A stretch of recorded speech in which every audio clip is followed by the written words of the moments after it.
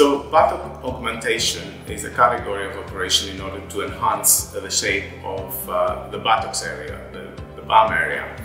And uh, these days, BBL, otherwise known as the Brazilian butt lift, is a very popular operation because it uses um, the body's own fat in order to augment, to increase the projection and the fullness of the buttock area, but very often also the lateral hip area. And um, for patients who do have excess of fat, uh, BBL is my favorite and recommended operation because it usually means a faster recovery. It means um, the absence of a foreign body and also it means a nicer shape in the rest of the body because we use liposuction at the same time in order to reduce uh, the waist and improve uh, the ratio between the waist and the buttock area. However, there are cases where there's not enough fat and in those cases the only other option would be to uh, consider a buttock implant.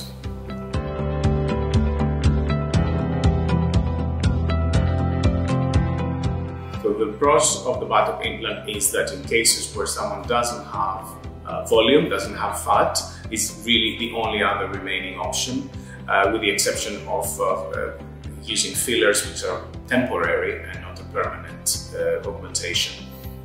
The uh, negatives of implants are that being a foreign body they can, in rare cases, be infected or be malpositioned and need to be repositioned. And of course, the recovery is a lengthy one because one cannot sit on uh, the bottom for approximately six weeks and need to take precaution uh, until then.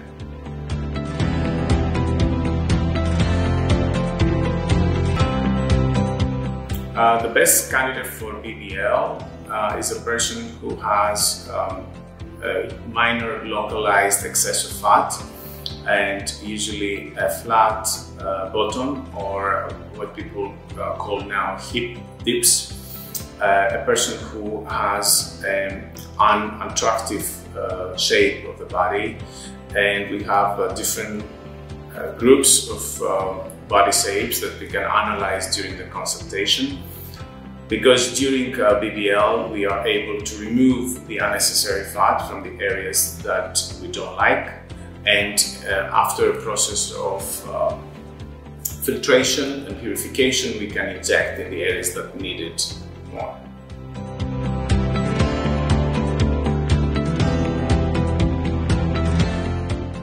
It is very important to understand that like any operation there are limitations and safety uh, rules that we need to follow. I stress that during the consultation process to my own patients.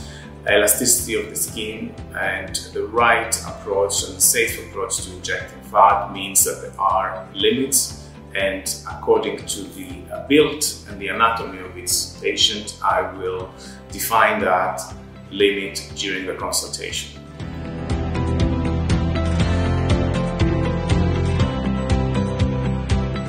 Complications of BBL include uh, infection, uh, fat necrosis, deep vein thrombosis, uh, but the most serious one is fat embolism. This is a very rare occurrence that happens when um, doctors inject the fat in the wrong place, too deep under the muscle. We want to avoid that. We have specific techniques to avoid that occurrence from happening. Uh, and of course, uh, minor scarring and small asymmetries.